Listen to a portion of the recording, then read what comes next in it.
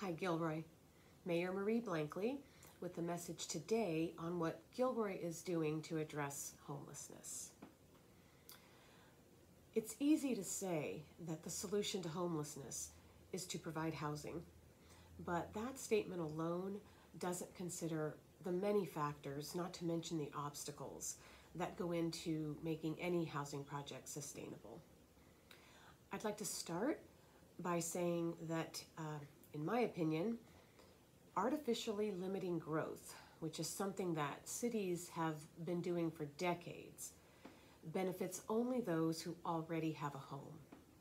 Instead, cities, city governments, I mean in particular, should be focusing on de- the delivery of city services, the necessary city services that um, are required for all of our residents. That's what the focus should be, not on a particular number of homes, but on how well we can deliver the services that we're obligated to provide for our residents. Part of that includes uh, includes considering access to transportation and jobs. That's part of what makes uh, housing sustainable in any city is that people have to have access to transportation to get them to their jobs. Otherwise, things as simple as paying your utility bills aren't going to happen. So that's how that's how I see things to start with. Then we have to acknowledge that county services, state services, and city services are different. So, homelessness in particular, homelessness, uh, social services, public transportation, public health, these are a few of the things that are county services. In response to homelessness, the county put Measure A on the ballot in 2016. That's the measure that passed and raised almost a billion dollars by the voters saying, County, please try to end homelessness.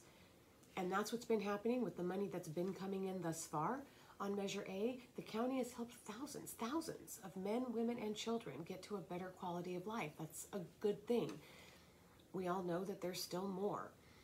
So the county, uh, the way they communicate with, with the cities, because we all need to cooperate, we don't live in a vacuum, is they produce their plan for the next five years and we all get together and look at that and try to see how we can all help.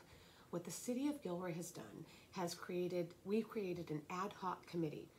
And we've got three council members that we put on there because we, we're not allowed to have more than that. Three is um, the maximum number of council members that can be present on anything at any one time because of the Brown Act. But this way, we have council members who can then um, attend regular meetings with not just the county, but with our local nonprofit agencies, and therefore we have a single uh, source point, right? Instead of just having a lot of people doing a lot of different talk, you funnel that all into this one ad hoc committee that has regular meetings with all the different people and organizations that have perspectives on what we can or cannot do with whatever resources we do or do not have. And that's a vetting process that then helps us all actually get somewhere. We can formulate an action plan through something like that.